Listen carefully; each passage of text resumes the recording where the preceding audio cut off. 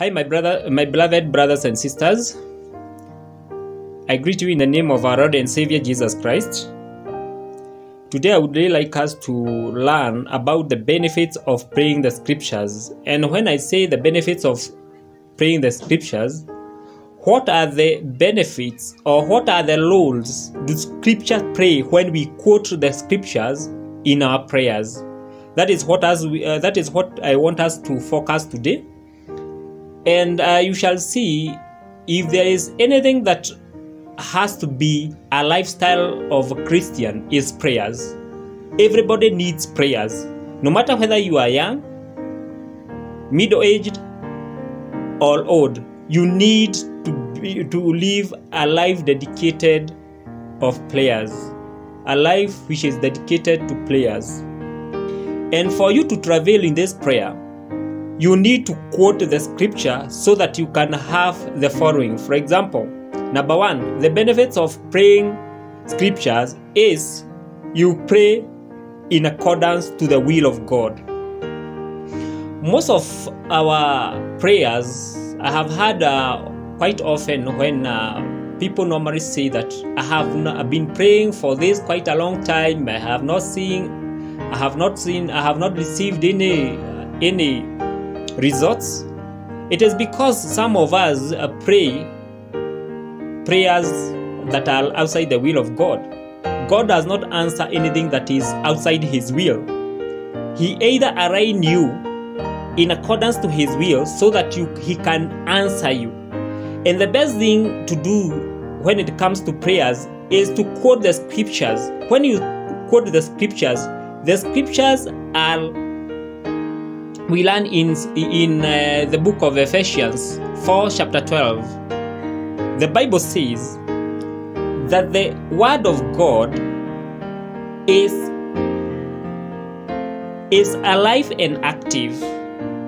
Is sharper than than a double-edged sword. What does this mean? It's life and active. When when when you quote the word of god or the scripture in your prayer, you are infusing the life of God in that prayer. So you are praying the will of God. Another benefit, number two, you are able to streamline your prayers. If you are praying about uh, spiritual battles, maybe you quote uh, Psalms 35, G, uh, Lord, contend with those who contend with me, fight against those who fight against me arise take your backfire and shield and try and see.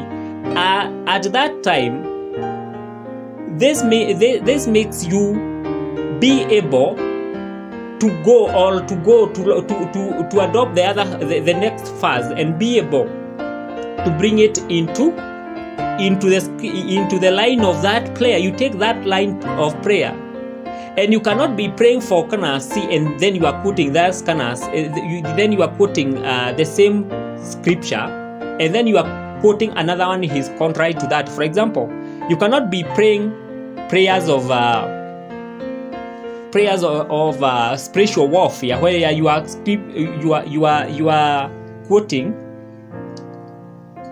let's say no weapon fashioned against me shall prosper. That is isaiah chapter 15 verse 17 and then at the same time you be quoting scriptures that are about prosperity. No it does not go that way. You are able to to scrutinize, to scrutinize or to streamline your prayers.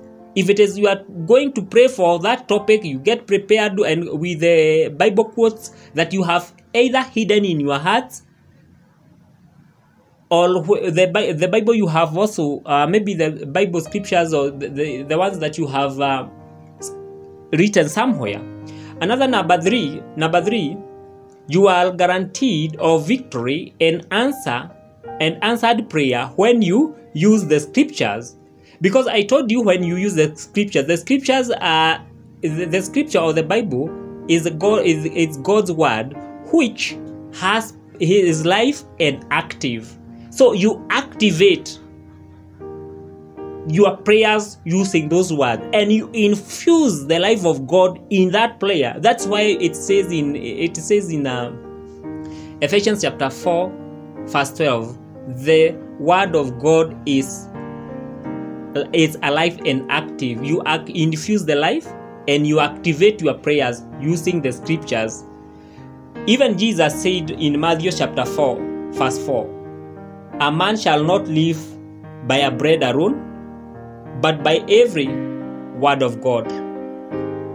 And he said, It is written. He answered Satan, It is written.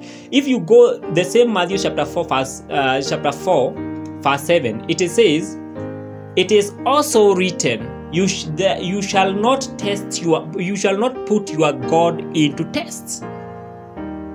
That is something kinda, that is something that gives you guaranteed victory. Number number four